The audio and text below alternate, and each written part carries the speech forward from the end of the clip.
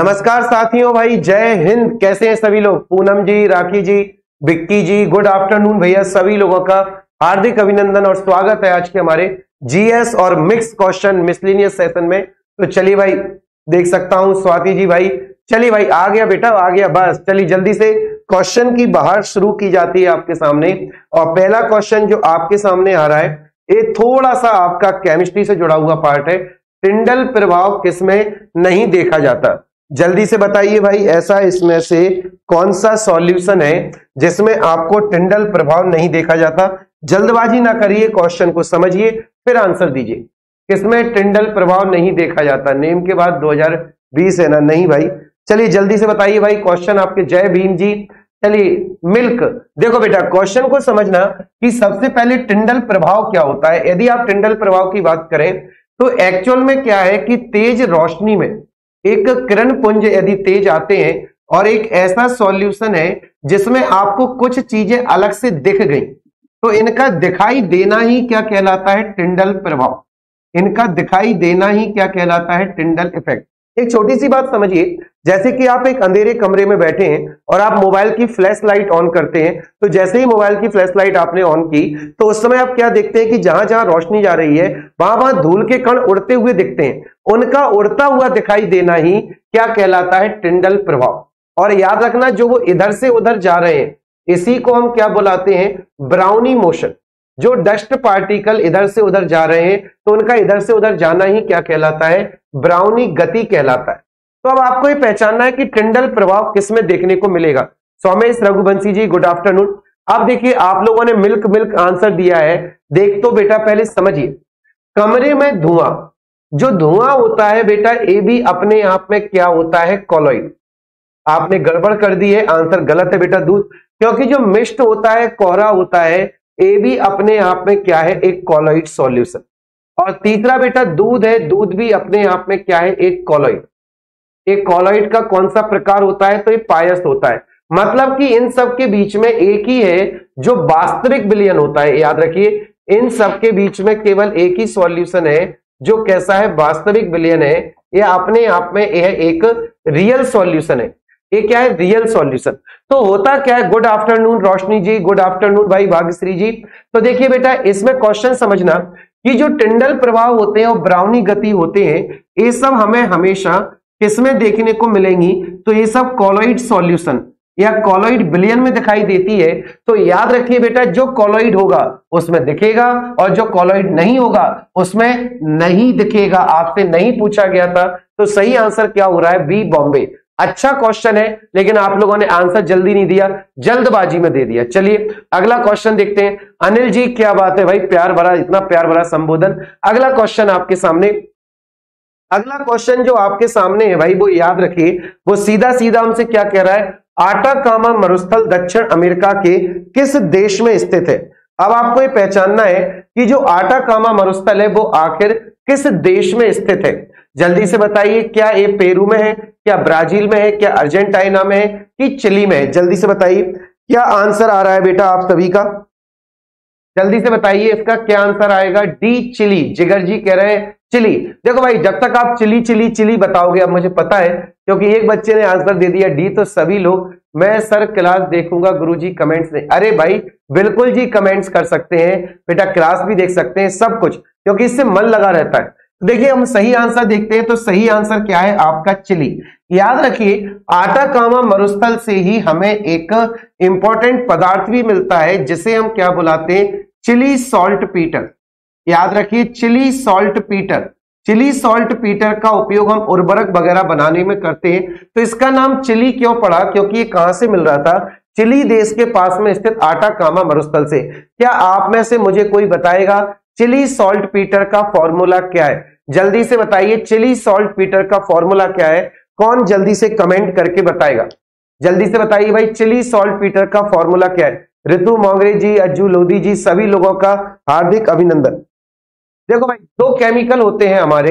एक तो potassium nitrate और दूसरा होता है सोडियम नाइट्रेट याद रखिए कौन कौन से पदार्थ होते हैं दो? एक तो सोडियम नाइट्रेट और दूसरा होता है बेटा पोटेशियम नाइट्रेट ये काफ़ी इंपॉर्टेंट क्वेश्चन है, ज़रूर याद रखिए। एक तो सोडियम नाइट्रेट और दूसरा कौन सा है? पोटेशियम नाइट्रेट तो जो सोडियम नाइट्रेट होता है Na और वहीं पर हम देखते हैं पोटेशियम नाइट्रेट के NO3 तो इनमें से बेटा एक तो बन जाता है चिली सॉल्ट पीटर और दूसरा बन जाता है आपका इंडियन सॉल्ट पीटर ये दोनों ही क्वेश्चन याद रखिए।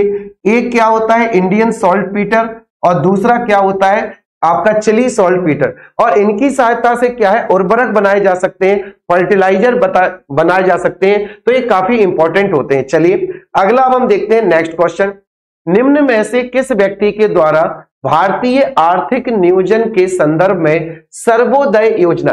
भाई, ये सर्वोदय प्लान काफ़ी फ़ेमस है और बेटा, ये जिस व्यक्ति के द्वारा चलाया गया था, वो गांधीवादी सोच के व्यक्ति थे और उनकी प्रतिभा की झलक हम तब देखते हैं जब हमारे देश में इमरजेंसी लगाई गई थी, वो भी इंटरनल इमरजेंसी अब मैंने पूरी हिंट कर दी है तो भाई अब आप बता सकते हैं कि किस व्यक्ति के कथन से सरकार घबरा गई थी और देश में नेशनल इमरजेंसी इंटरनल मामलों पर लगाई गई थी, बताइए वो महापुरुष कौन है, जिनके द्वारा सर्वोदय प्लान चलाया गया था। चलिए क्या मैं टिक कर दूँ? तो चलिए भाई, याद रखिए सही आंसर क्या है? जयप्रकाश नारायण। इनके मूवमेंट को जेपी मूवमेंट के नाम से भी जाना जाता है और इनका जो सर्वोदय था सर्वोदय का सीधा सीधा ये बिल्कुल सही जिगर ठाकुर जी, बिल्कुल सही बात कर रहे हैं। इनकी जो सर्वोदय योजना थी सर्वोदय का मतलब सभी का उत्थान से भी बढ़कर था। इनका कहना था कि हमारे समाज की जो आखिरी सीढ़ी है, आखिरी सीढ़ी का मतलब वो चाहे कोई जाति हो सकता है चाहे कोई समाज हो सकता है, वो कुछ भी हो सकता है। तो जो समाज की आखिरी सीढ़ी है, उस तक का भी उदय होना चाहिए, क्योंकि जब तक उसका उदय नहीं होगा, तब तक याद रखिए, देश विकास नहीं कर सकता। तो इनका सर्वोदय प्लान, बाकी सभी के प्लान से काफ़ी ऊपर था। तो इसका सही आंसर क्या है? जयप्रकाश नारायण। चलिए, अगला क्वेश्चन देखते हैं हम।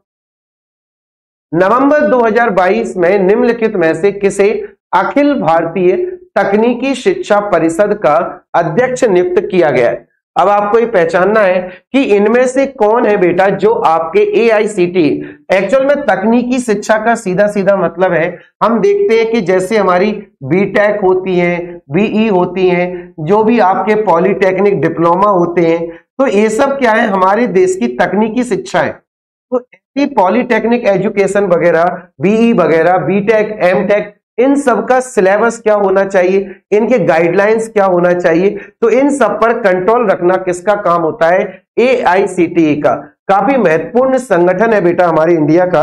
और यदि हम देखें कि आखिर वो कौन है जो ए के अध्यक्ष बने हैं तो देखो भाई, जहाँ भी जाइए, सीताराम कहते जाइए।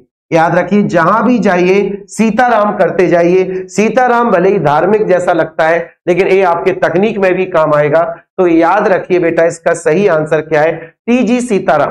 भाई, राजीव कुमार जी इलेक्शन कमीशन से जुड़े हैं बेटा। इसमें क्यों उनका आंसर ला रहे हो? राजीव कुमार जी किससे जुड़े हैं? इलेक्शन कमीशन से, आपके निर्वाचन आयोग से। चलिए, सही आंसर क्या है बेटा? डी। सीताराम सीताराम कहिए, चलिए आगे बढ़ते हैं। अब हम देखते हैं तो वन्य जीव संरक्षण अधिनियम किस वर्ष अधिनियमित किया गया था? वन्य जीव संरक्षण अधिनियम वाइल्ड लाइफ प्रोटेक्शन एक्ट काफ़ी महत्वपूर्ण क्वेश्चन और हम लगातार देख रहे हैं कि पर्यावरण से जुड़े हुए क्वेश्चन आपके एग्ज़ाम में लगातार आ रहे हैं बेटा तो ऐसे में ही और भी महत्वपूर्ण हो जाता है। जल्दी से बताइए।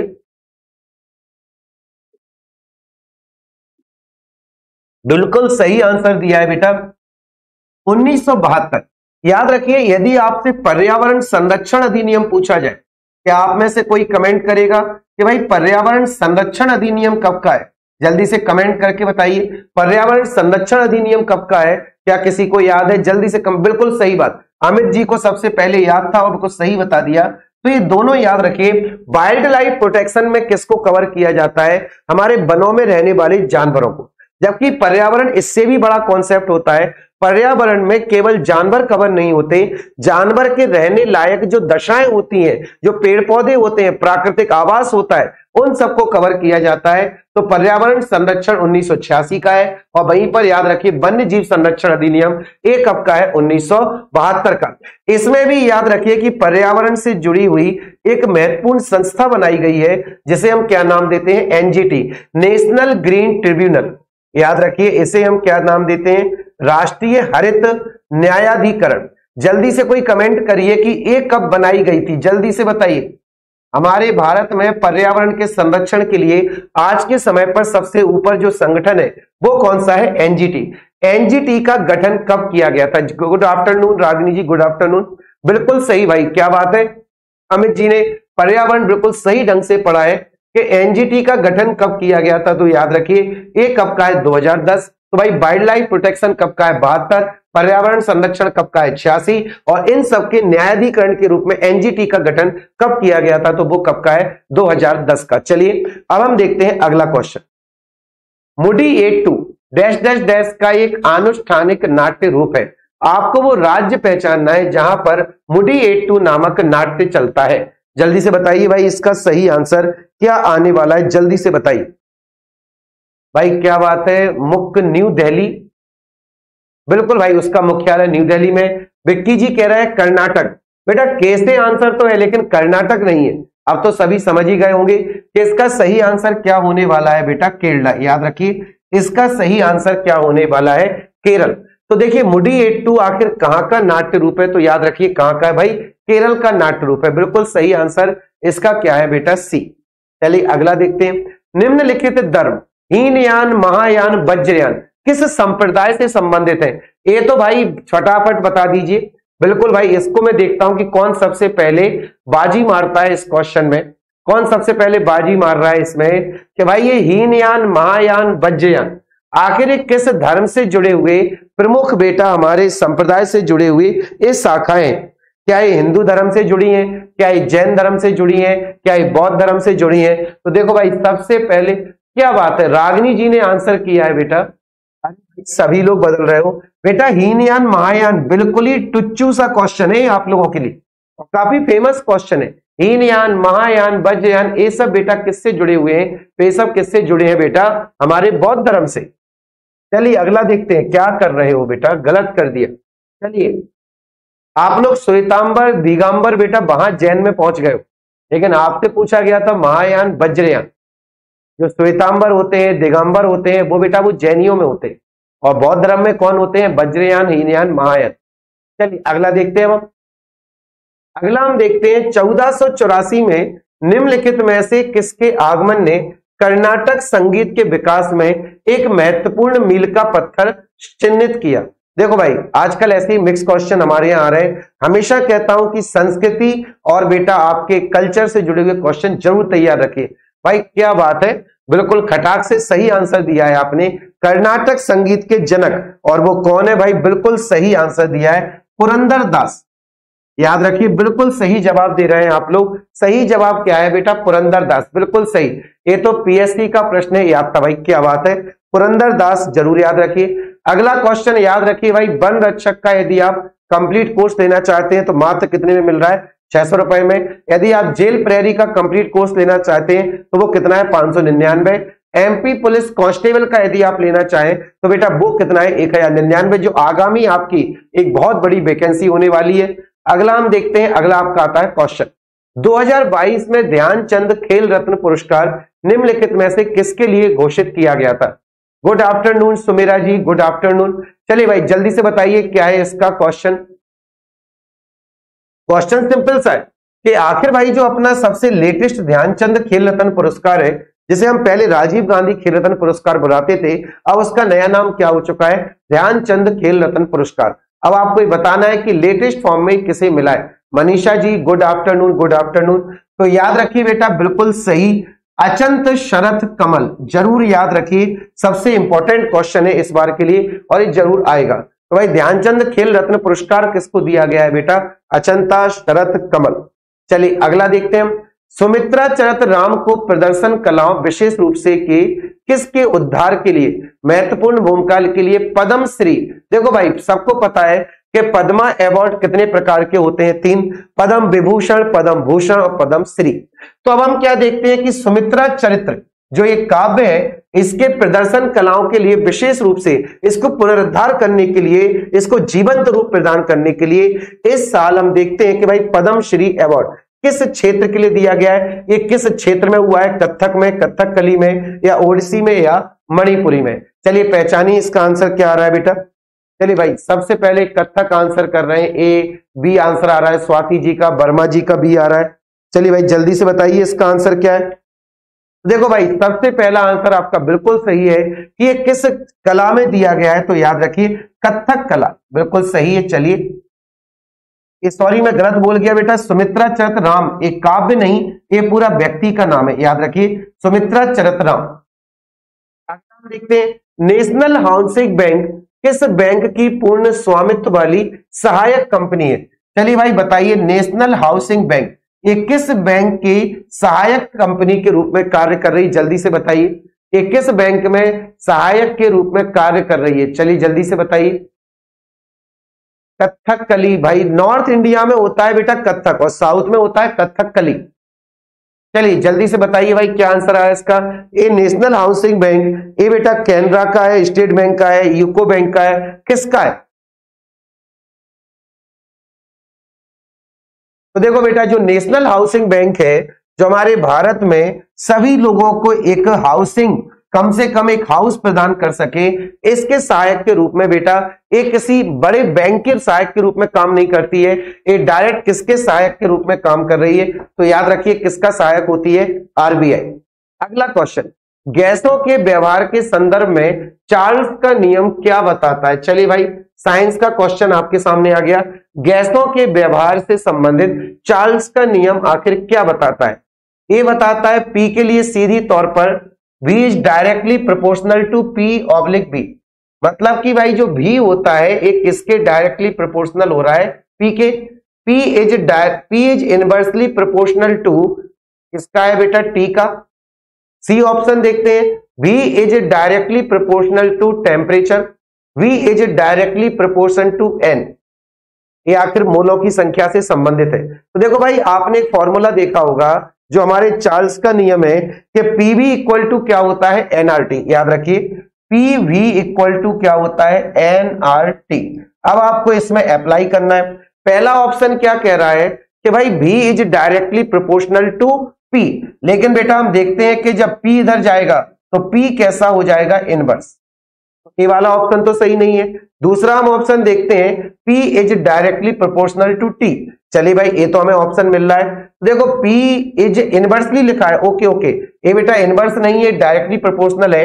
तो सही ऑप्शन क्या मिल रहा है हमें सी क्योंकि इधर लिखा हुआ है बी और बी के सामने ही कौन है टी तो ये रिश्ता कैसा है? बिल्कुल सही है। तो हमारा सही आंसर क्या हो जाएगा सी सर क्लियर नहीं दिख रहा। बेटा, थोड़ा पिक्सल्स का प्रॉब्लम हो सकता है। या आप थोड़ी क्वालिटी इंप्रूव कर सकते हैं। निम्नलिखित में से कौन सा ब्यूटेन का सही रासायनिक निरूपण है? जल्दी से बताइए। इनमें से कौन सा क्वेश्चन है जो आप ऑप्शन है बेटा, जो ब्यूटेन का सही रासायनिक निरूपण है? जल्दी से बताइए। ब्यूटेन, देखो भाई, कोई भी एल्केन हो दुनिया का, कोई भी एल्केन हो तो याद रखिए, एल्केन की पहचान क्या होती है?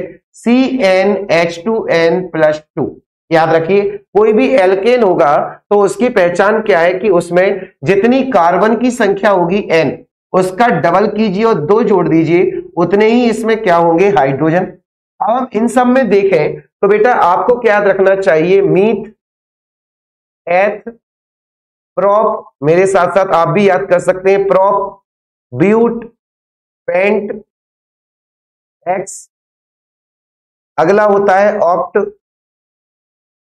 ऑप्ट के बाद होता है नॉन और लास्ट में कौन होता है डेक तो देखो भाई, ये जो शब्द लिखे हुए हैं, ये एक्चुअल में प्रिफिक्स है।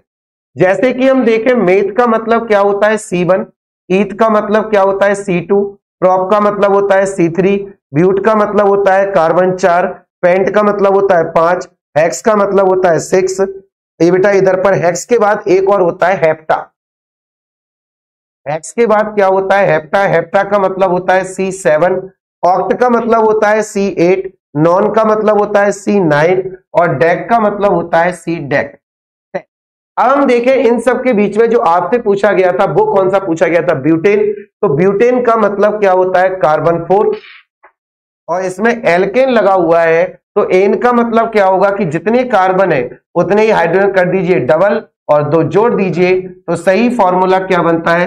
सी फोर एच टेन सही फॉर्मूला क्या बनता है? C four H ten C four H ten is the correct answer मतलब आपका सही ऑप्शन क्या हो गया? बी बॉम्बे पूरा बता चुका हूँ बेटा, जिसका तैयार नहीं है, वो मेरे साथ याद भी कर सकता है कि जब एल्केन होंगे तो फॉर्मूला क्या होगा? और भाई, आगे वाला नाम देख के पता लगा सकते हो कि किसमें कितने कार्बन होंगे।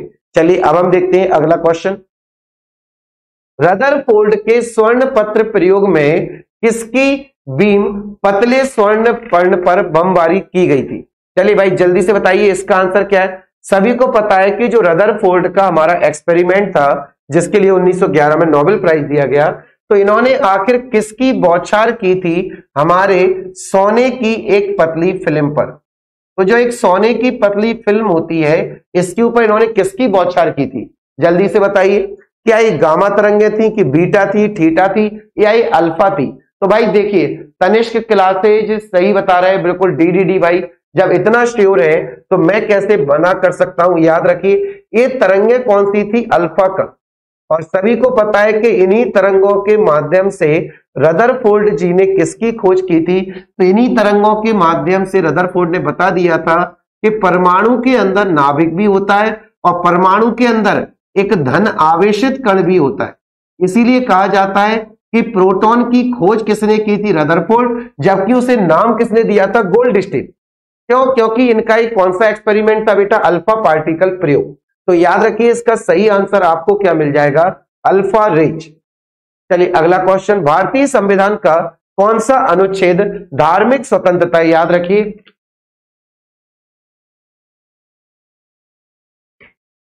भारतीय संविधान का कौन सा अनुच्छेद धार्मिक स्वतंत्रता के अधिकार की गारंटी देता है? जल्दी से बताइए भाई। परमाणु के अंदर नाभिक भी होता है, बिल्कुल सही कह रहे हैं बेटा। Arvind ji Goldstein Thomson Chad बिल्कुल तीन नाम। कप्पू भैया, चना, थाईलैंड, काम खत्म। तीनों याद हो जाएँगे इस ट्रिक से बेटा। चलिए भाई, क्या आंसर दे रहा है? 25 तो देखिए, आप लोग बिल्कुल सही है, क्योंकि याद रखिए यदि मैं इंसॉल्ट आपको पूरा समझा दूँ तो भाई देखो क्या है कि हमारा जो समानता का अधिकार है तो समानता का अधिकार कहाँ से कहाँ तक है तो याद रखिए कहाँ से कहाँ तक है, चौदह से अठारह। वहीं पर आपसे कहा जाए स्वतंत्रता का अधिकार। तो यदि स्वतंत्रता के अधिकार की बात की जाती है तो ये कहाँ से कहाँ तक होता है 19 से 22 तक। वहीं आप देखिए शोषण के विरुद्ध अधिकार। शोषण राइट अगेंस्ट एक्सप्लॉइटेशन तो शोषण के लिए केवल दो आर्टिकल है, तेईस और चौबीस। वहीं पर आपकी धार्मिक स्वतंत्रता चालू हो जाती है। धार्मिक स्वतंत्रता का उल्लेख हमें कहाँ से कहाँ तक मिलता है? 25 से 28 वहीं पर आप देखते हैं कला और संस्कृति संबंधी अधिकार।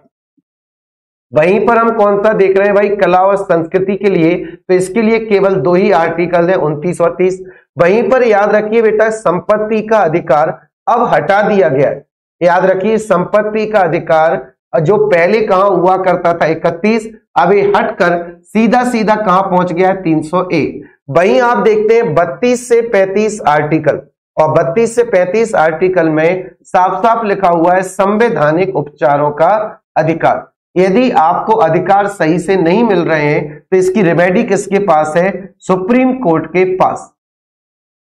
ठीक है, इसी में फिर हम देखते हैं तो मार्शल लॉ मिलते हैं डिफेंस वाले लॉ मिलते हैं तो ये सब हमारे किसमें मिलेंगे बेटा? इसमें। चलिए, अब हम देखते हैं आगे। भारत में वित्तीय स्थिरता रिपोर्ट किसके द्वारा प्रकाशित की जाती है? बताइए भाई। भारत में वित्तीय स्थिरता ऐसी को हम क्या बुलाते हैं? फाइनेंशियल स्टेबिलिटी रिपोर्ट सर, मेरा पाँच को पेपर था, अड़सठ नंबर आए हैं। हो जाएगा, शंकर जी। भाई, अड़सठ नंबर है बेटा, आपकी कैटेगरी कौन सी है? अंकित जी। सबसे पहले डिपेंड करता है कि आपकी कैटेगरी कौन सी है और आपके पेपर का लेवल कैसा था। दो चीज़ों के हिसाब से कट ऑफ़ डिसाइड होगी इस बार पूरी की पूरी। चलिए भाई, इसका आंसर क्या दे रहे हैं सभी लोग? तो सी बात है, याद रखिए कि भारत में मॉनेटरी पॉलिसी या मौद्रिक नीति बनाने वाला संस्थान ही कौन सा है? आरबीआई देखिए, यदि हम इसकी बात करें तो भाई, हमारे भारत की मौद्रिक पॉलिसी या फिसल पॉलिसी बनाने का पूरा का पूरा जिम्मा ही किसके ऊपर है? आरबीआई के ऊपर।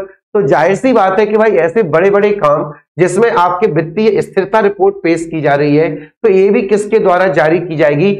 आरबीआई के द्वारा। ये भी किसके द्वारा पब्लिश की जाएगी? आरबीआई के द्वारा।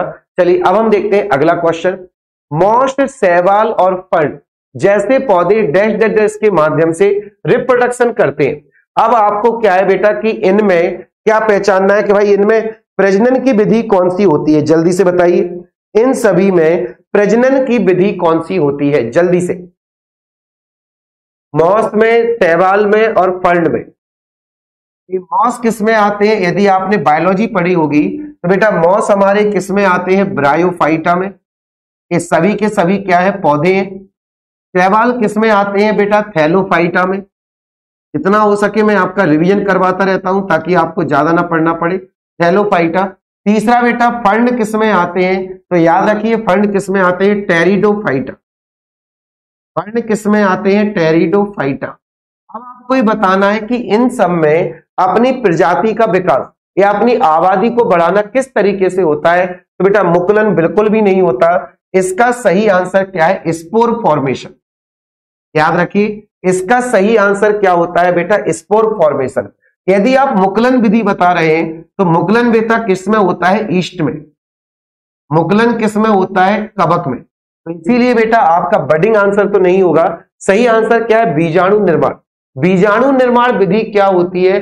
भाई मनीषा जी, बेटा बढ़िया से सफलता लेकर आइए, अच्छे से पेपर दीजिए रेस्ट करिए, दिमाग पर ज़्यादा लोड नहीं। जो आपने पढ़ा है, वो अच्छा है। स्पोर फॉर्मेशन में क्या होता है कि जैसे मान लीजिए, यह एक पौधा है। तो इसके अंदर कई सारे स्पोर्स बन जाते। और चूँकि स्पोर्स को ही हम क्या नाम देते हैं बेटा? चल बीजाणु स्पोर्स को ही हम क्या नाम देते हैं? चल बीजाणु या यही क्या होते हैं हमारे प्यारे स्पोर्स तो चल बीजाणु क्या होते हैं? इसके अंदर बनते रहते हैं। फिर एकदम बस्ट हो जाता है और यही स्पोर्ट्स मुक्त हो जाते हैं। तो यही स्पोर्ट्स आगे जाकर इन प्रकार के नए पौधों को जन्म दे जाते हैं। तो याद रखिए, इन सब में बेटा अमीबा में नहीं होता, अमीबा में विखंडन होता है, अरविंद जी, अमीबा में विखंडन होता है, अमीबा में विखंडन होगा। चलिए अगला देखते हैं, मौलिक अधिकारों का कौन सा अनुच्छेद केवल भारत के नागरिकों के लिए लागू होता है? अब आपको ऐसा अधिकार बनाना है, जो केवल और केवल इंडियन सिटीजन पर लागू होता है।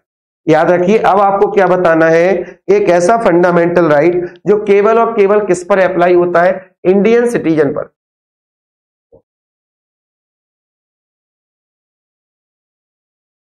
क्या ये आर्टिकल 14 है? क्या ये आर्टिकल 15 है? क्या ये आर्टिकल 20 है? कि क्या ये आर्टिकल 25 है? जल्दी से बताइए, क्या होने वाला है इसका आंसर नहीं बेटा आर्टिकल 14 और 15 तो बिल्कुल भी नहीं होते। केवल भारत के नागरिकों के लिए लागू होने वाला अधिकार है बेटा, वो कौन सा है? आर्टिकल 20 याद रखिए, जो केवल किस पर लागू होगा बेटा तो याद रखिए आर्टिकल 20 आर्टिकल 20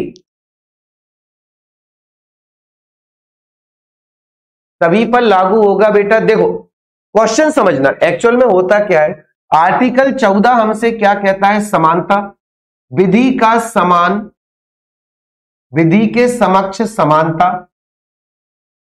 विधि के समक्ष समानता, या इसी को हम क्या कहते हैं? विधियों का समान संरक्षण। या इसी को हम क्या कहते हैं? विधियों का समान संरक्षण भी कहते हैं। अब इन सब के बाद देखते हैं तो बेटा आर्टिकल 15 एक में रुकना बेटा ए ऑप्शन आपका गलत हो जाएगा। सी ऑप्शन नहीं बेटा, इसका आएगा बी ऑप्शन याद रखिए मैं टिक कर दिया है। इसका सही आंसर क्या होगा बेटा? बी बॉम्बे क्योंकि बी क्या कहता है कि राज्य की नज़र में सभी कैसे होंगे बराबर? राज्य की दृष्टि में हमारे भारत के सभी नागरिक क्या होंगे? बराबर। लेकिन ऐसा अधिकार बेटा विदेशी नागरिकों को नहीं दिया जाता। कई बार आप टूरिस्ट प्लेस पर जाइए तो वहाँ पर इंडियन सिटीजन का टिकट अलग होता है और फॉरेनर्स का टिकट अलग होता है। तो फॉरेनर्स कभी इस बात को क्लेम नहीं कर सकते कि साहब ये भेदभाव क्यों है हमारे साथ। तो याद रखिए आर्टिकल 15 बिल्कुल सही है। जो आर्टिकल 20 है तो आर्टिकल 20 के मामले में एक ही बात याद रखिए कि 20 और 21 ऐसे हैं जिनसे नागरिकों को कभी वंचित नहीं किया जा सकता। याद रखिए, नागरिकों को कभी भी किन अधिकारों से कभी भी वंचित नहीं किया जा सकता। तो वो अधिकार कौन से हैं बेटा? याद रखिए हमारे आर्टिकल 20 और 21 आर्टिकल 20 और 21 तो भाई इसका संबंध भी नहीं था। तो सही आंसर क्या था हमारा? बी बॉम्बे। सही आंसर क्या था बेटा? बी बॉम्बे। चलिए अगला हम देखते हैं। सर, ट्वेंटी में संरक्षण मिला है, कोई अपराध करता है तो। जी, बिल्कुल बेटा। अरविंद जी, इसीलिए याद रखिए कि 20 और 21 ऐसे आर्टिकल हैं जो आपके राष्ट्रीय आपातकाल होते समय भी सस्पेंड नहीं होते, बाकी 14 15 बाकी सब सस्पेंड हो जाते हैं। देखते हैं, निम्नलिखित में से किस पुस्तक ने साहित्य के लिए 2022 जेसीबी पुरस्कार जीता है? चलिए भाई, बताइए, जेसीबी पुरस्कार किसने जीता है बेटा 2022 का? जल्दी से बताइए, साहित्य के लिए आपका 2022 का पुरस्कार किसके द्वारा जीता गया? चलिए, अगला क्वेश्चन जो आपके सामने था बेटा, इसका आंसर क्या रहा है? सॉन्ग ऑफ़ द सॉइल का है। देखिए बेटा, इसका सही आंसर है the paradise of the food याद रखिए the paradise of the food किस पुस्तक ने जीता है? आपने देखा होगा बेटा, एक पैराडाइज के नाम से एक मूवी भी बनी थी। वो भी इसी से कुछ मिलती जुलती थी और उसमें भी कुछ ऐसी ही घटनाओं का वर्णन था। वो कोरियन मूवी थी जिसे ऑस्कर मिल चुका है। और वो पैराडाइज मूवी याद रखिए, उसी से बेसिक से कुछ मिलता जुलता एक नई रचना बनाई गई है, द पैराडाइज ऑफ़ फ़ूड जिसे क्या दिया गया है, जेसीबी पुरस्कार। पानी में तैरते तेल पर दिखाई देने वाला चमकीला रंग किसके कारण होता है? जल्दी से बताइए, इस क्वेश्चन का आंसर क्या आने वाला है? पानी में तैरते तेल पर दिखाई देने वाला चमकीला रंग किसके कारण होता है? क्या ये प्रकाश का परिक्षेपण है? क्या ये प्रकाश का प्रकीर्णन है? क्या व्यतीकरण है? क्या ये विवर्तन है? जब भी आप देखिए हम पानी पर तेल की जैसे ही बूंद डालते हैं तो वो पानी पर फैल जाती है और जब आप देखें तो वो अच्छी खासी चमकीली दिखाई देती है। तो अब आपको बताना है कि आखिर वो चमकीली क्यों दिखाई देती है, इसका कारण क्या है?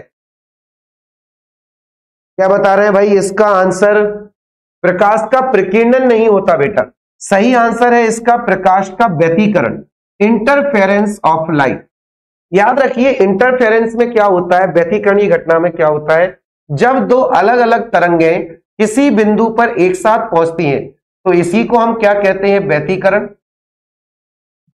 या इसी को हम क्या कहते हैं इंटरफेरेंस और जब दो तरंगे बेटा समान कला में पहुँचती हैं, याद रखिए, जब दो तरंगे समान कला में पहुँचती हैं, इस सेम फ़ेज़ में पहुँच जाती हैं तो ऐसे में क्या होता है कि परिणामी तरंग कई गुना बढ़ जाती है।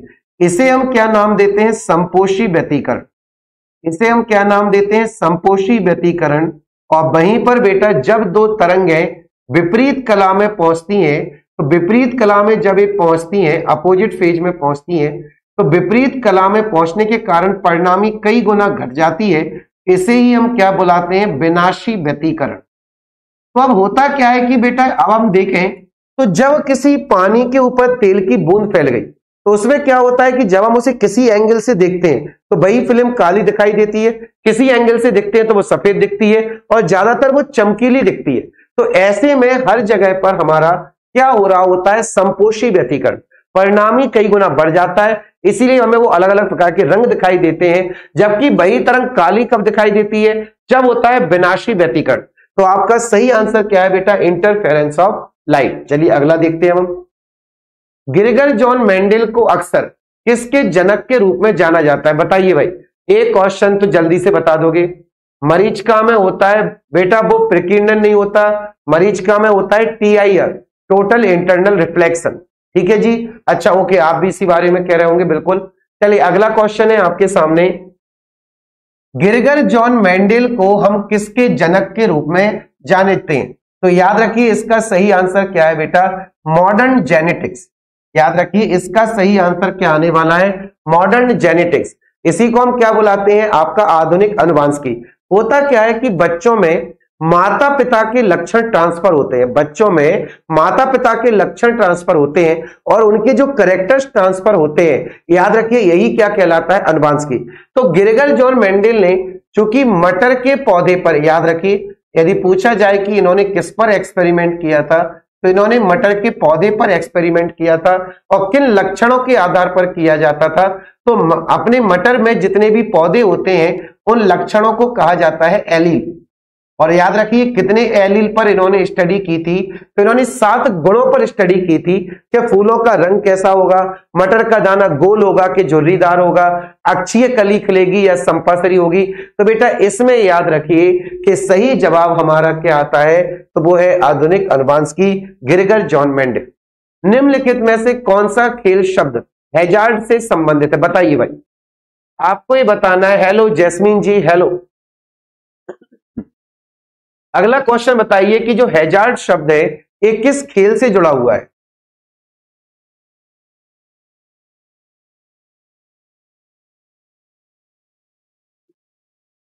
हैजार्ड शब्द है जो किस खेल से जुड़ा है बेटा? जल्दी से बताइए। हैजार्ड। देखिए भाई, क्या आंसर आ रहा है? हैजार्ड बिल्कुल सही है। हैजार्ड शब्द किस खेल से जुड़ा हुआ है बेटा? बिलियर्ड्स। बिल्कुल सही जवाब। बिलियर्ड्स हुआ स्नूकर हुआ, आजकल के बच्चे बेटा इन्हें बहुत खेलते हैं भाई। तो याद रखिए, सही आंसर क्या है आपका? बिलियर्ड्स निम्नलिखित में से किसे राष्ट्रीय खेल प्रोत्साहन पुरस्कार 2022 प्राप्त हुआ है या होगा बेटा? ये होगा, लिख गया, लेकिन ऑलरेडी हो चुका है। तो साल 2022 का पुरस्कार है तो इस साल दिया जाएगा। तो आप ये बताइए, किसने, किस संस्थान ने, किस इंस्टीट्यूशन ने स्पोर्ट्स में मोटिवेशन के लिए अलग से काम किया है? तो जल्दी से बताइए भाई, वो संस्थान कौन सा है? जल्दी से बताइए, क्या आंसर आ रहा है बेटा इसका? कौन सी ऐसी संस्थान है जिसके द्वारा राष्ट्रीय खेल प्रोत्साहन पुरस्कार 2022 प्राप्त होगा? तो इसका सही आंसर है बेटा, ट्रांसटेंडिया इंटरप्राइजेस प्राइवेट लिमिटेड। ये उस संस्थान को दिया जाता है जो अपने इधर अपनी कंपनी में स्पोर्ट्स के मोटिवेशन को बढ़ावा देती है, स्पोर्ट्स लीव प्रोवाइड करती है। तो ऐसे में बेटा सबसे प्यारी संस्थान हमें कौन सी मिलती है? Transstadia enterprises private limited. चलिए अगला देखते हैं हम। निम्नलिखित में से किस राज्य का स्थापना दिवस एक नवंबर को नहीं मनाया जाता? ये बहुत ही प्यारा क्वेश्चन है, क्योंकि एक्चुअल में क्या हुआ था, जब हमारे राज्य पुनर्गठन अधिनियम जो हुआ था फजल अली अध्यक्षता में तो उसमें कई राज्यों को एक साथ एक नवंबर को पुनर्गठित किया गया था। तो वही राज्यों का बेटा स्थापना दिवस क्या बन जाता है? एक नवंबर।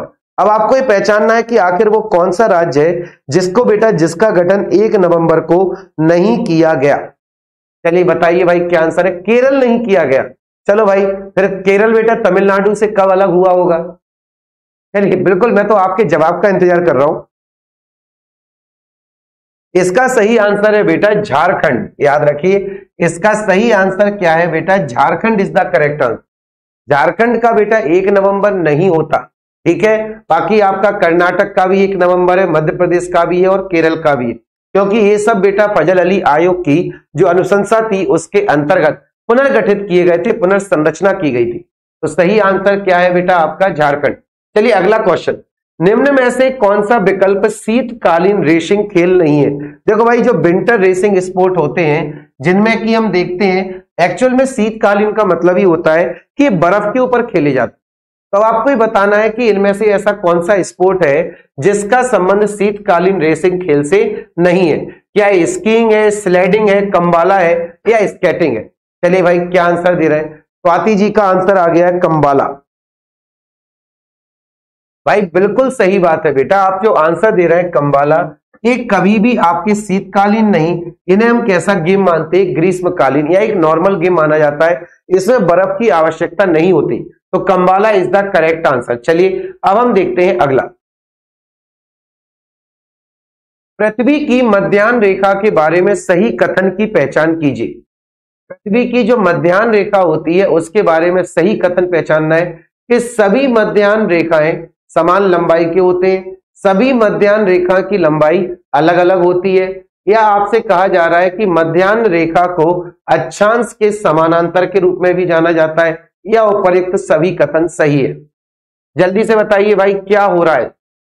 स्केटिंग सीट में तो और बिना सीट में भी। भाई, बिल्कुल स्केटिंग दोनों वक्त होता है बेटा।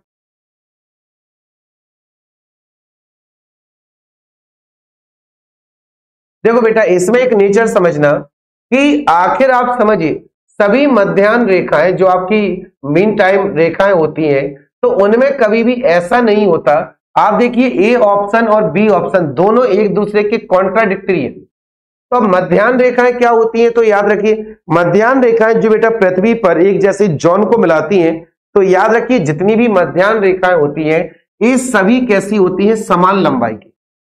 कि ये सभी कैसी होती हैं? समान लंबाई की होती हैं। तो भैया, इसका ना तो सी है और ना डी है। इसका सही आंसर क्या है बेटा? मध्यान्ह रेखाएँ। क्योंकि मीन टाइम लाइन होती है। तो जो मध्यान्ह रेखा है, वो एक दूसरे के छोर को मिलाती है। इसीलिए बेटा, इन सबकी लंबाई कैसी होती है? समान। अगली जानकारी कि आप व्यापन फाउंडेशन यदि कंप्लीट कोर्स लेना चाहते हैं तो वो केवल कितने में मिल रहा है? फोर्टीन डबल नाइन में। अगला बेटा एमपी पटवारी यदि आप लेना चाहें तो भाई आपको पूरा कोर्स कितने में मिल रहा है? नाइन नाइनटी नाइन में। चलिए, अगला क्वेश्चन कौन सी संरचनात्मक परत शैवाल, कवक और पौधों की कोशिकाओं को घेरती है? यांत्रिक और असमार्थिक तनाव से तन्य शक्ति तथा सुरक्षा प्रदान करती है। क्या ये कोश का झिल्ली है? क्या ये प्लास्टिड होते हैं? क्या ये कोशिका भित्ति है? या क्या ये बैक्यूल है? चलिए बताइए इसका सही आंसर क्या मिल रहा है? सही आंसर क्या मिल रहा है? बेटा, इस क्वेश्चन को देखिए और बताइए जल्दी से। कौन सी संरचनात्मक परत शैवाल कवक और पौधों में?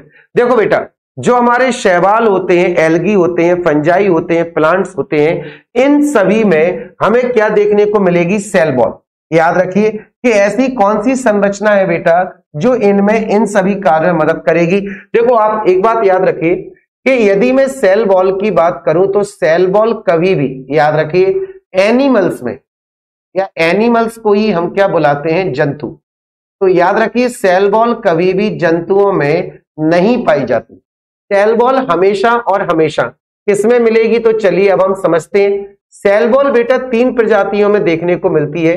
सेल बॉल शैवाल में भी होती है मतलब एल्गी में भी होती है। सेल बॉल कबक में भी होती है मतलब फंगस में होती है। और तीसरे नंबर पर हम देखें तो भाई एक किस्में होती है? शैवाल का मतलब तो पौधे ही होते हैं बेटा। और तीसरा ये हमें किस्में मिलती है? बैक्टीरिया में। ये और किस्में पाई जाएगी? बैक्टीरिया।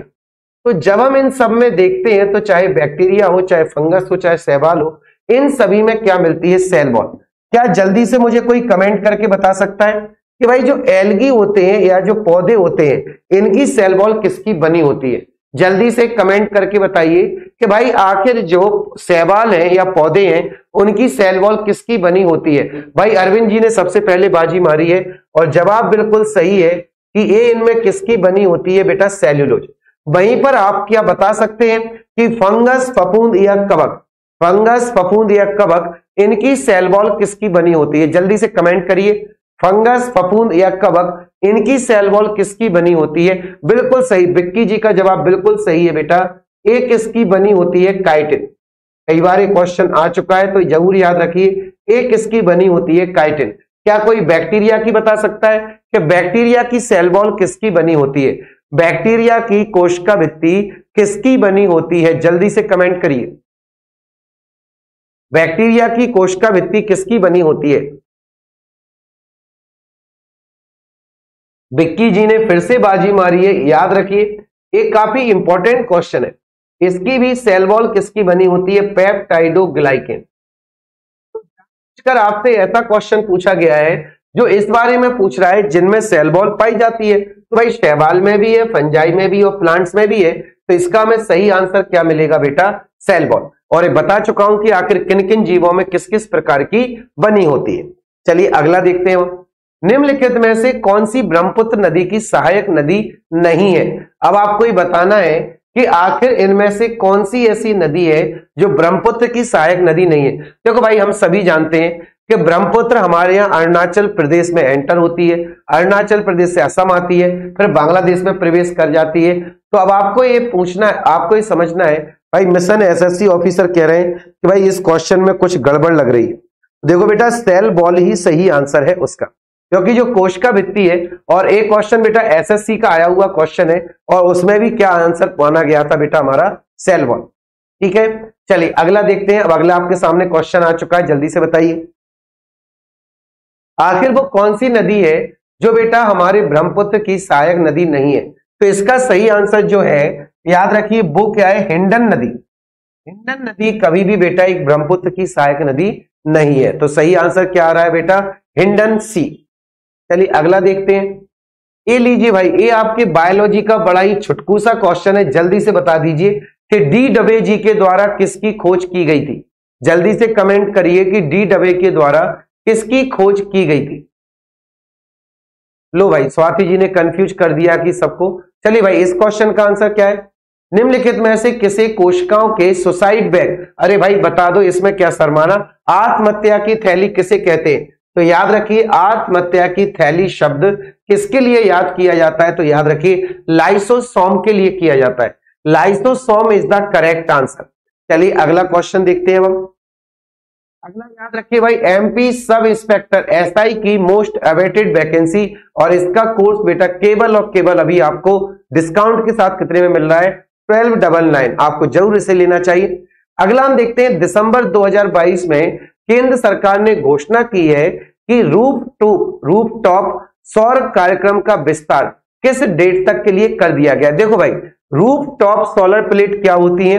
तो रूफ टॉप सोलर प्लेट में क्या होता है कि मान लीजिए ये आपका घर है और आपके घर पर बेटा दरवाजे, खिड़कियाँ हैं तो सरकार क्या कह रही है कि आपकी जो छत है, ये तो बर्बादी हो रही है। तो आप इधर पर क्या लगा लीजिए सोलर प्लेट? इससे आपको बिजली भी मिलेगी। और सरकार क्या है भाई, इसमें जितनी भी एक्स्ट्रा बिजली बन जाती है, वो रिज़र्व के रूप में आप सरकार को बेच भी सकते। सरकार उसका उपयोग कर लेगी। तो भाई डबल फ़ायदा होता है। तो इसमें क्या होता है कि आखिर इस योजना में सरकार के द्वारा जितनी सब्सिडी दी जाती है तो सब्सिडी को लेकर आखिर सरकार के द्वारा कहाँ तक बेटा विस्तार कर दिया गया है? तो वो आपको डेट बतानी है कि आखिर वो डेट कौन सी है, जब तक इसका बेटा विस्तार आगे तक रहेगा।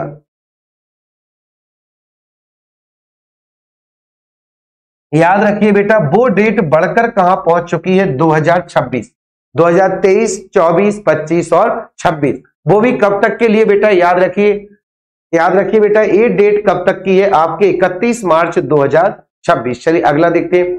होप मिशन, लाल ग्रह की कक्षा में पहुँचने वाला मंगल ग्रह के वातावरण और इसकी परतों की पूरी तस्वीर प्रदान करने के लिए पहली जाँच इस जाँच के लिए बेटा पूरा मिशन किस देश के द्वारा लॉन्च किया गया है? क्या ये कनाडा के द्वारा किया गया है?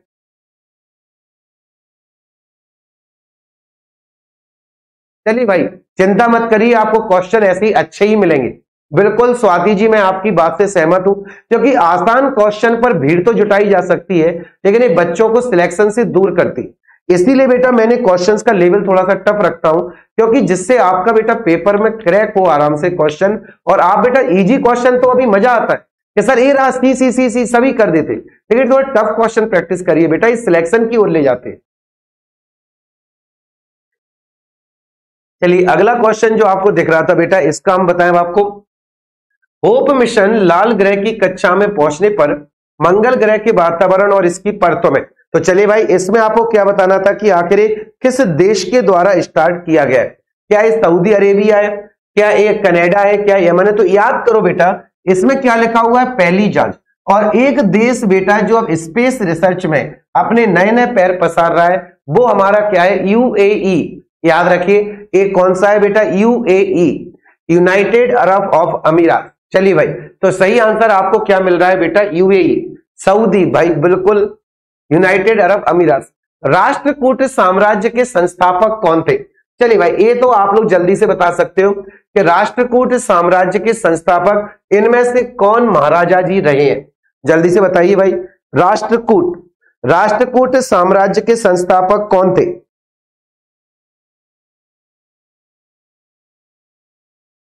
राष्ट्रकूट साम्राज्य के संस्थापक कौन थे बेटा? जल्दी से बताइए।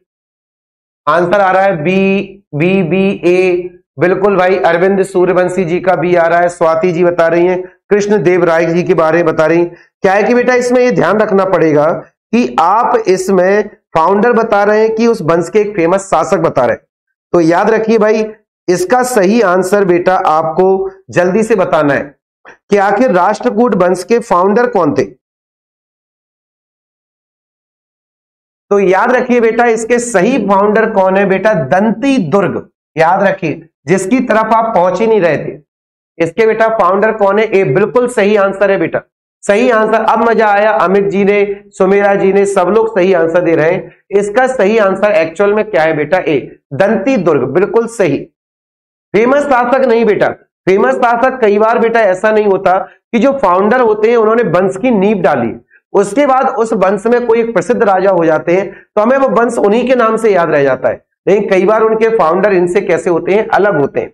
अगला क्वेश्चन देखते हैं। डाइसेरोसिस बाइकॉर्नसिस किसका वैज्ञानिक नाम है? लीजिए भाई। अगला क्वेश्चन जो आपको मिल रहा है, वो किससे मिल रहा है बेटा? वैज्ञानिक नामों से कि आखिर डाइसेरोसिस बाइकॉर्निस किसका वैज्ञानिक नाम है? जल्दी से कमेंट करके बताइए। डाइसेरोसिस बाइकॉर्नोसिस जल्दी से आपको बताना है।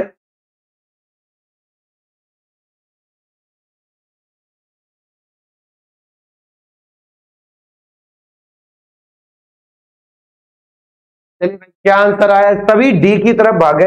एशियन एलिफेंट का नहीं होता बेटा, उसमें एलिफेंटियसिस लगाऊँगा। सही आंसर है बेटा, ब्लैक राइनोसोरस। जो राइनोसोरस होते हैं, या इसी को बेटा हम लोग क्या बुलाते हैं? काला गेड़ा। तो जो काला गेड़ा होता है, याद रखिए, उसी का नाम क्या है? डाइसेरोस बाइकॉर्नसिस बी लग रहा है तो बेटा बिल्कुल बी है। क्या बात है भाई, अरविंद जी, बिल्कुल सही।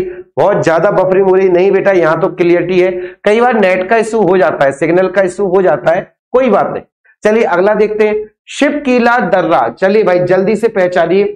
शिवकीला दर्रा किस राज्य का एक पहाड़ी दर्रा है? जल्दी से बताइए। शिवकीला दर्रा किस राज्य का एक पहाड़ी दर्रा है? क्या ये हिमाचल प्रदेश में, क्या ये अरुणाचल प्रदेश में, क्या ये सिक्किम में, क्या ये जम्मू कश्मीर में?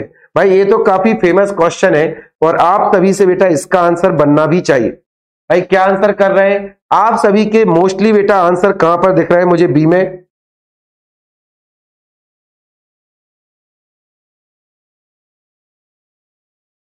क्या आंसर आ रहा है भाई? बी बॉम्बे भाई बी बॉम्बे अरुणाचल प्रदेश नहीं बेटा। सिपकीला दर्रा कहाँ है? हमारे हिमाचल में। देखिए, अरविंद जी का आंसर बिल्कुल सही है। स्वाति जी ने शॉर्ट में दे दिया है। सिपकीला दर्रा कहाँ जाना जाता है बेटा? हिमाचल प्रदेश। याद रखिए, कहाँ पर है? Himachal Pradesh.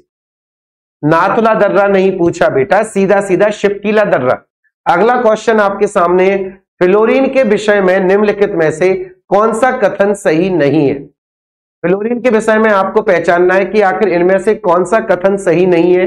The most reactive non metallic element इस सर्वाधिक क्रियाशील आधातिक तत्व है। आपको सही नहीं पहचानना, याद रखिए, जल्दबाजी में गलत मत कर देना। कि अभी आप ए पर आंसर कर दो कि सर, वो तो सही था पॉइंट देखिए, वो होने भी लगा है। याद रखिए बेटा, कौन सा पॉइंट सही नहीं है? सर्वाधिक आयनन विभव वाला तत्व है। सर्वाधिक ऋण विद्युतीय तत्व है। या सबसे ज़्यादा शक्तिशाली ऑक्सीकारक पदार्थ है। अब बताइए क्या होगा इसका आंसर। अब बताइए भाई, क्या आंसर होगा फ्लोरीन के बारे में? देखिए भाई, फ्लोरीन का आंसर बिल्कुल बेटा आप सही कर रहे हैं। The most ionization potential element. सर्वाधिक आयनन विभाव वाला तत्व फ्लोरीन बिल्कुल भी नहीं है।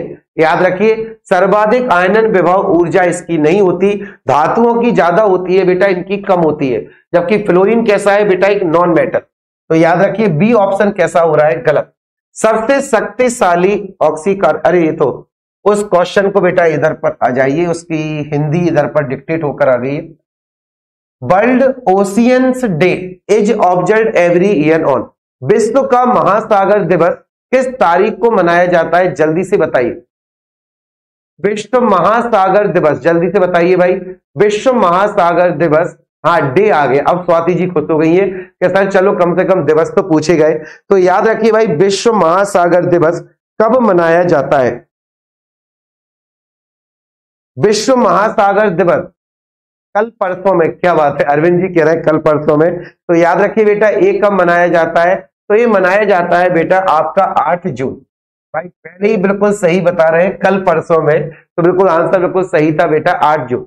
8 June is the correct answer काफ़ी फ़ेमस है और ये अक्सर आता भी है। अगला हम देखते हैं बेटा, अगला क्वेश्चन भारतीय संविधान का निम्नलिखित में से कौन सा अनुच्छेद भारत के उपराष्ट्रपति के चुनाव से संबंधित है? सीधा सीधा आपसे क्वेश्चन पूछा जा रहा है कि आखिर इनमें से कौन सा एक आर्टिकल है जो हमारे भारत के 22 प्रेसिडेंट के चुनाव से जुड़ा हुआ है? वाइस प्रेसिडेंट, भाई सभी को पता है कि यही हमारे राज्यसभा के सभापति होते हैं। बेटा, राष्ट्रपति नहीं, उपराष्ट्रपति पूछा है। जल्दी से बताइए, वो भी उपराष्ट्रपति के चुनाव से। बेटा, उपराष्ट्रपति के चुनाव की तरफ़ जाएँगे तो हम कहाँ की तरफ़ जाएँगे बेटा? आर्टिकल 66 क्योंकि त्रेपन में तो हमें राष्ट्रपति मिलेगा। ठीक है, जो हमारी विधायिका का क्या होगा बेटा? मुखिया होगा जिसके हाथ में भाई सर्वोपरि सत्ता होगी जिसके सिग्नेचर से कोई विधेयक कानून बनेगा। लेकिन जब आप इससे आगे बढ़ते हैं तो आर्टिकल 65 के आसपास हम रेंज में आते हैं 64, 65, 66 तो यहाँ पर फिर आगे आपके उपराष्ट्रपति की शुरुआत हो जाती है। एक घूर्णन में वस्तु टोटल कितनी दूरी तय करती है बताइए भाई। जब किसी वस्तु का एक रोटेशन हो जाता है तो एक रोटेशन में वस्तु लगभग कितनी दूरी तय करती है? ये तो आप मैथ में देख सकते हैं बेटा। कोई बात नहीं, गलतियाँ होती रहती हैं, लेकिन अब आपके आंसर, लेकिन लगना चाहिए, दिमाग लगना चाहिए। चलिए भाई, क्या आंसर है? एक पूर्ण घूर्णन करने पर वस्तु आखिर कितनी दूरी तय कर लेती है? क्या आंसर है बेटा? सभी का आंसर ए आ रहा है तो लो भाई, मैं कैसे इनकार कर सकता हूँ? Two pi r is the correct answer. बिल्कुल सही है। और बिल्कुल छुटकू सा क्वेश्चन था। वह प्रमुख सूचकांक जिसका उपयोग भारत में हेडलाइन मुद्रा स्फीति को मापने के लिए किया जाता है। भाई, ये अच्छा क्वेश्चन है कि जो मुद्रा स्फीति होती है इन्फ्लेशन होता है, जिससे पता चलता है कि व्यक्ति की क्रय शक्ति इतनी नहीं बढ़ी है, वस्तुओं का दाम उससे ज़्यादा बढ़ गया है तो आपको ये बताना है कि मुद्रा स्फीति की माप आखिर किस आधार पर की जाती है? मुद्रा स्फीति की माप किस आधार पर की जाती है? जल्दी से बताइए। मुद्रा स्फीति की माप करने के लिए उपभोक्ता मूल्य सूचकांक का इस्तेमाल किया जाता है, या थोक मूल्य सूचकांक का इस्तेमाल किया जाता है, या परचेजिंग मैनेजर इंडेक्स क्रय प्रबंधक सूचकांक का इस्तेमाल किया जाता है, या इसके लिए अपस्फीति कारक कारक जिम्मेदार होता है। तो भाई, आखिर जो तय किया जाता है मुद्रा स्फीति बेटा याद रखिए, ये उपभोक्ता मूल्य सूचकांक पर नहीं होता है एक इस पर होता है? होलसेल प्राइस इंडेक्स क्योंकि होता क्या है कि क्रय शक्ति अलग अलग दुकानदार अपने हिसाब से कई बार सामग्री को बेचते हैं तो इसीलिए बेटा इसका आधार हमेशा किसको माना जाता है? थोक मूल्य सूचकांक को। इसका आधार हम किसको मानते हैं? होलसेल प्राइस इंडेक्स आई क्लियर हुआ ये क्वेश्चन चले भाई, अब हम देखते हैं अगला क्वेश्चन कौन भारतीय संविधान में मसौदा समिति, या इसी को हम क्या बुलाते हैं? ड्राफ्ट कमिटी के सदस्य नहीं थे। भाई देखो, सभी को पता है कि जो हमारी ड्राफ्ट कमेटी थी ड्राफ्ट कमेटी के हेड कौन थे बेटा? तो याद रखिए बी आर अंबेडकर जी। और बी आर अंबेडकर देखिए, जो भीमराव अंबेडकर जी थे बी आर अंबेडकर जी के मदद करने के लिए कितनी सदस्यीय कमेटी थी बेटा? सात सदस्यीय कमेटी। जिनमें से एक सदस्य की मृत्यु हो गई थी तो दूसरे रिप्लेस हो गए थे। जिनमें से बेटा एक ने इस्तीफा दे दिया था। तो अब आपको ये पहचानना है कि इनमें से वो कौन सा सदस्य है जो इसका बेटा मेंबर नहीं था। क्या ये मोहम्मद सादुल्ला थे, या जेबी कृपलानी जी थे कि के एम मुंशी थे, या आपके एन माधव राव थे? तो इसका सही आंसर क्या है बेटा? याद रखिए कि आपके कृपलानी जी, जेबी कृपलानी कभी इसके सदस्य नहीं रहे मोहम्मद सादुल्ला के एम मुंशी, एन माधव राव सभी इसके सदस्य रहे हैं। बिल्कुल सही बात है बेटा। चलिए अगला क्वेश्चन भारत के मुख्य न्यायाधीश सीजेआई सहित भारत के सर्वोच्च न्यायालय की स्वीकृत क्षमता कितनी है? देखो भाई, जब आप आर्टिकल कौन सा पढ़ते हैं? वन ट्वेंटी फोर याद रखिए। आप आर्टिकल कौन सा पढ़ते हैं बेटा? 124 और 124 से ही हमारे संविधान में किसकी शुरुआत हो जाती है सुप्रीम कोर्ट? हमें पता है कि सुप्रीम कोर्ट के ऊपर बर्डन बहुत होता है तो एक तो उसमें कौन होते हैं? सीजेआई सीजीआई का मतलब होता है कि चीफ जस्टिस ऑफ़ इंडिया। अब आपको बताना है कि आखिर चीफ जस्टिस ऑफ़ इंडिया की मदद करने के लिए आखिर कितने अन्य सहायक जज हमारे संविधान या हमारी सरकार या हमारी विधायिका के द्वारा स्वीकृत किए गए हैं? तो अब आपको स्वीकृत क्षमता बताना है। ये चौतीस है कि ये अड़तीस है। तो याद रखिए बेटा, जो लोग चौतीस बता रहे हैं थ्री फोर वो बिल्कुल सही है बेटा। सीजीआई सहित बोला है, इसी को हम क्या बोल सकते हैं? One plus thirty three Bharat के मुख्य न्यायाधीश सहित भारत के सर्वोच्च न्याय तो भाई मुख्य न्यायाधीश मिलाकर टोटल कितने आपके चीफ जस्टिस और अन्य जस्टिस को मिलाकर टोटल संख्या कितनी होती है? चौतीस। चलिए अगला क्वेश्चन देखते हैं। निम्नलिखित में से किन्हें राष्ट्रीय सांख्यिकी आयोग के अध्यक्ष के रूप में नियुक्त किया गया है? लीजिए भाई, अगला क्वेश्चन किससे जुड़ा हुआ है? करंट अफेयर से। कि आखिर जो नेशनल स्टेटिस्टिकल कमीशन होता है, इसके अध्यक्ष के रूप में सांख्यिकी आयोग बेटा बहुत ही आवश्यक कमीशन है, क्योंकि आखिर राष्ट्र के लिए सबसे ज़रूरी होता है इसके नागरिकों का डेटा तो जो डेटा संबंधी पर जुटाया जाता है, आखिर उसके नए हेड कौन बने हैं?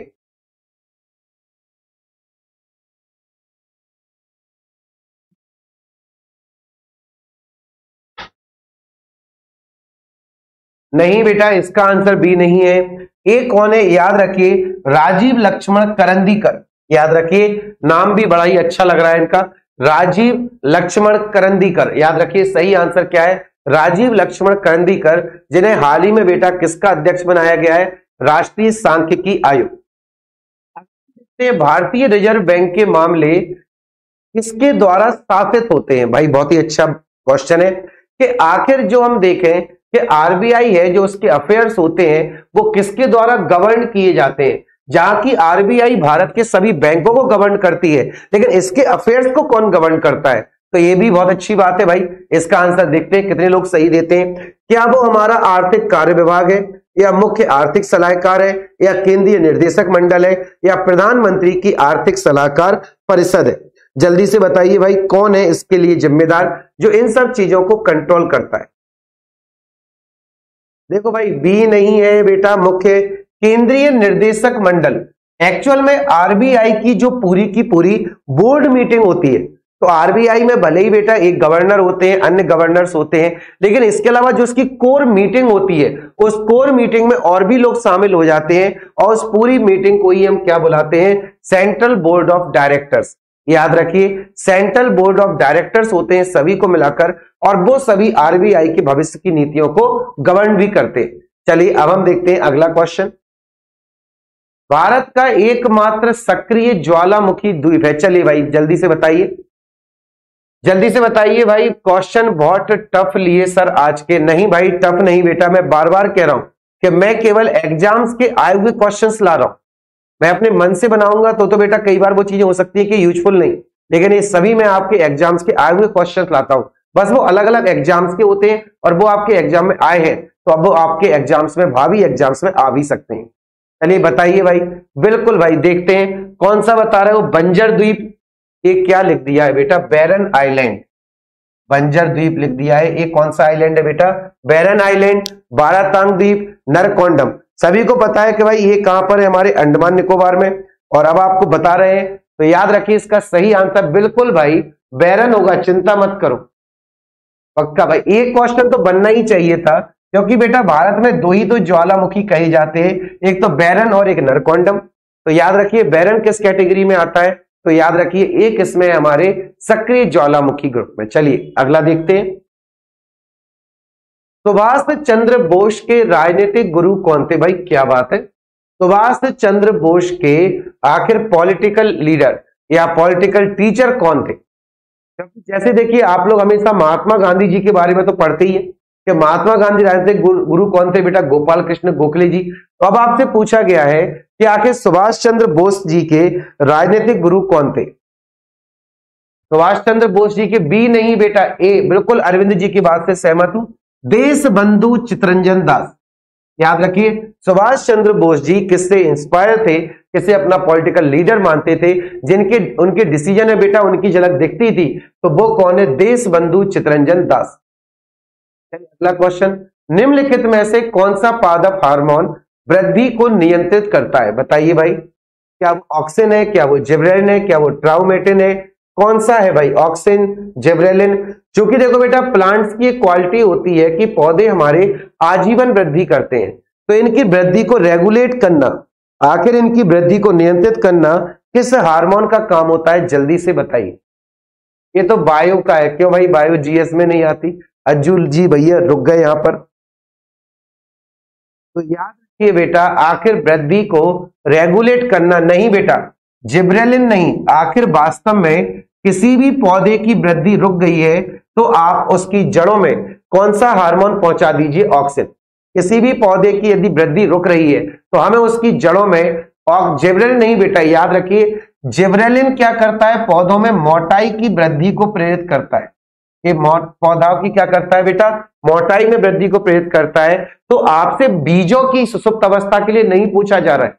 याद रखिए, बिल्कुल विक्की जी सही बात करें कि जिब्रेलिन बीजों को बढ़ाता है, लेकिन जब किसी पौधे में वृद्धि को करवाना है तो उसमें हमें किस हार्मोन का इस्तेमाल करना पड़ता है? तो सही जवाब क्या है बेटा हमारा? Oxygen is the correct answer चलिए आंसर तो बी है भाई, बिल्कुल है। अच्छा एक बात आई, फ्लोरिजन हार्मोन का उपयोग क्या होता है? आपने जिब्रेलिन बता दिया, आपने बेटा ऑक्सीजन बता दिया तो अगला आपका क्या बताना था बेटा? याद रखिए फ्लोरिजेंस तो फ्लोरिजेंस हार्मोन बेटा पौधों में फूल खिलाने वाला हार्मोन। पौधों में फूल खिलाने वाला हार्मोन तो याद रखिए पौधों में फूल खिलाने वाला हार्मोन कौन सा था बेटा? याद रखिए फ्लोरिजेंस। ट्राउमेटिन ट्राउमेटिन को याद रखा करो मरहम पट्टी के नाम से। पौधों में जो जख्म लग जाते हैं, पौधों की कोई शाखा कट जाती है तो ट्राउमेटिन का काम क्या होता है? पौधों के जख्म भरना। क्योंकि वहाँ पर कोशिकाओं का विकास तेज़ी से करता है और इससे बेटा वहाँ पर वो चीज़ पैक हो जाती है तो पौधों को ज़्यादा नुकसान नहीं पहुँचता। अगला क्वेश्चन बांग्ला उत्सव त्योहार निम्नलिखित में से किस भारतीय राज्य में मनाया जाता है? और सबसे बड़ी बात, कि इसमें पश्चिम बंगाल ही ऑप्शन में नहीं है।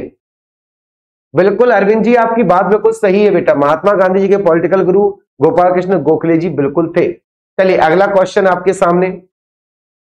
बंगाल उत्सव कहाँ पर मनाया जाता है? और खुद देखो बेटा बेस्ट बंगाली ऑप्शन में नहीं है। सर क्लियर नहीं दिख रहा है। बेटा क्वालिटी तो वही चल रही है। हो सकता है कई बार सिग्नल प्रॉब्लम बेटा, इसका सही आंसर क्या है? मेघालय। मेघालय में भी हमें थोड़ी सी बंगाल की चूँकि कनेक्शन में पास में ही रहता है, थोड़ी झलक देखने को मिलती है तो बंगला उत्सव कहाँ पर मनाया जाता है बेटा? मेघालय। अगला हम देखते हैं, किस पंचवर्षीय योजना में तीव्र औद्योगिकीकरण पर ध्यान केंद्रित किया गया? और इसमें हैवी इंडस्ट्री अब तो समझ ही गए होंगे कि हैवी इंडस्ट्री किस पंचवर्षीय योजना का टारगेट बनाई गई थी। जल्दी से बताइए। किस पंचवर्षीय योजना में तीव्र औद्योगिकरण पर ध्यान केंद्रित किया गया? और उसको बढ़ाने के लिए हैवी इंपोर्ट की बेटा सपोर्ट किया गया कि हैवी इंपोर्ट करना चाहिए। क्या ये बेटा हमारा पहला है, दूसरा है, तीसरा, चौथा? किस फाइव ईयर प्लान में ऐसा किया गया था? तो बिल्कुल सही बात है बेटा, ये किसकी देन है? हमारी सेकंड तभी तो बेटा बड़े बड़े स्टील उद्योग हमारे सब कब डिज़ाइन किए गए थे? दूसरी पंचवर्षीय योजना में। बिल्कुल सही बात है बेटा। एक कौन सा है? Second five year plan Britain में संसद के लिए निर्वाचित होने वाले पहले, अरे भाई, बड़ा ही छुटकू सा क्वेश्चन समय बर्बाद मत करिए। जल्दी से इसका आंसर बताइए। आखिर हमारी ब्रिटेन की संसद में पहुँचने वाले पहले भारतीय कौन थे? जल्दी से बताइए।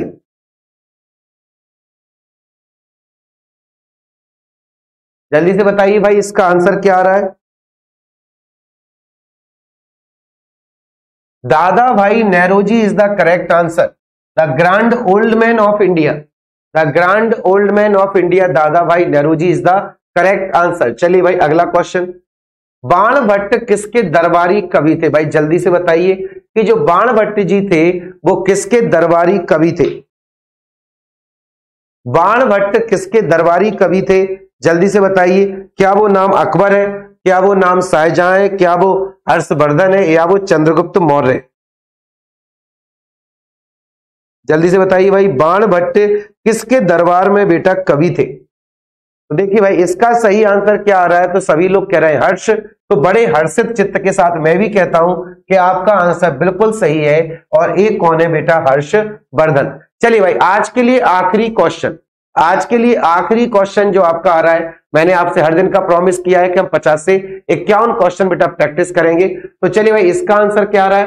केंद्र शासित प्रदेश अंडमान निकोबार द्वीप समूह में कुल कितने द्वीप, उपद्वीप या शैलमय दृश्यांश है? कुल मिलाकर जब हम बंगाल की खाड़ी की तरफ़ जाते हैं तो वहाँ पर हमें अंडमान निकोबार आइलैंड मिलता है। तो वहाँ पर ऐसे कितने स्थल खंड है, चाहे वो द्वीप के रूप में हो, चाहे शैलाश्रय के रूप में हो, जो बेटा पानी से ऊपर है। बताइए भाई, जल्दी से इसका आंसर क्या है? जल्दी से बताइए इसका आंसर क्या है? क्या छोटी मोटी संख्या है अच्छी खासी बड़ी है? चलिए। देखिए भाई, इसका सही आंसर है बेटा 836 याद रखिए। भले ही सभी जगह पर बसाहट नहीं होती है तो इसीलिए द्वीप की संख्या कम हो जाती है। लेकिन क्वेश्चन को गौर से पढ़िए आपके अकेले द्वीप नहीं पूछे गए। उपद्वीप सेलमय, कोई भी स्थलखंड जो आपकी बंगाल की खाड़ी में पानी से ऊपर है, वो सब हम इसी का भाग मानते हैं। तो टोटल ऐसी कितनी संरचनाएँ है बेटा? 836 ठीक है? तो चलिए भाई, आज हमारे जीएस और विविध के पोर्शन में मेरी तरफ़ से इतना ही है। बाकी कल हम नए क्वेश्चन टफ क्वेश्चन अच्छे क्वेश्चन सिलेक्शन वाले क्वेश्चन के साथ फिर मिलेंगे आज के लिए थैंक यू.